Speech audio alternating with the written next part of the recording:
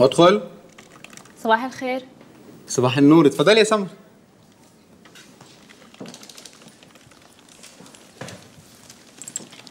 إزيك؟ الحمد لله.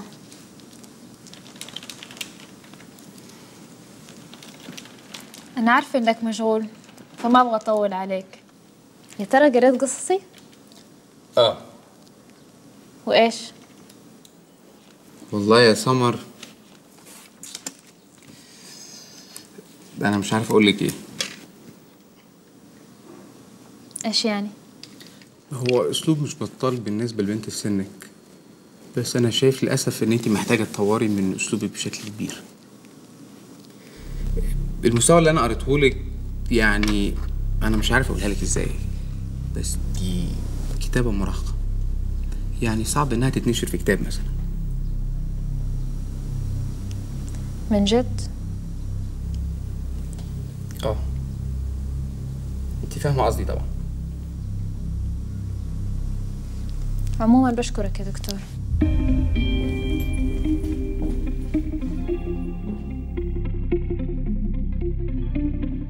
لكل منا شخصية يحترمها.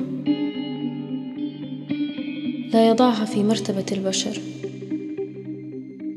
شخصية قد لا تكون قابلتها من قبل.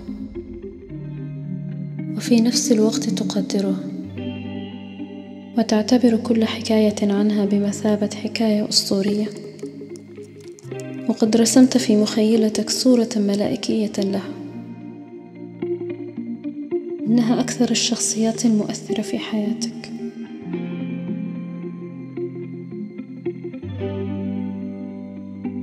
لكن ما يلبث كل ذلك أن يتحطم.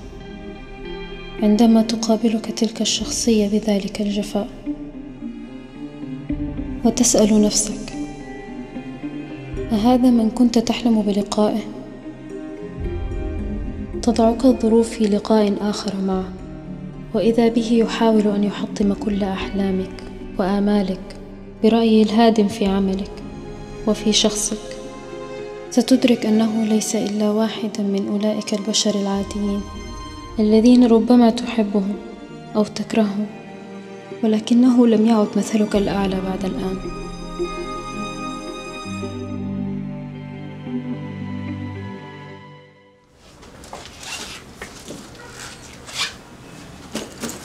انت بجد هتعمل كده؟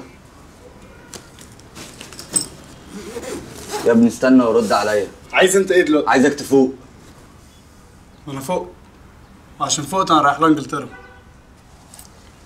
يا ابني هي انجلترا دي آخر الشارع. هتسافر إزاي؟ أجيب تذكرة من المطار ده مطار تخلف مش موقف أتوبيسات. لازم فيزا. أنا معايا زفت. يلا. ما تخلص يا ابني. لسه عادي على جده. ماشي هروح جده.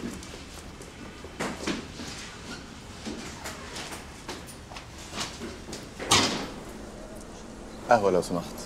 سمر إزاي؟ الحمد لله. حلوة المقالة اللي أنت كاتباها. شكرا يا دكتور. هي عن أحمد زكريا مش كده؟ لا أنا كتبتها من زمان ودوبي نشرتها. بعدين ليش هذا السؤال؟ المفروض ما تقربيش من أحمد يا سمر. إيش بتقولوا هذا يا دكتور؟ أحمد مش سهل. أحسن لك تبعدي عنه. دكتور حضرتك تبغى شيء معين؟ عايزك تخلي بالك من نفسك يا سمر. طيب عن إذنك. أنا عندي محاضرة دحين.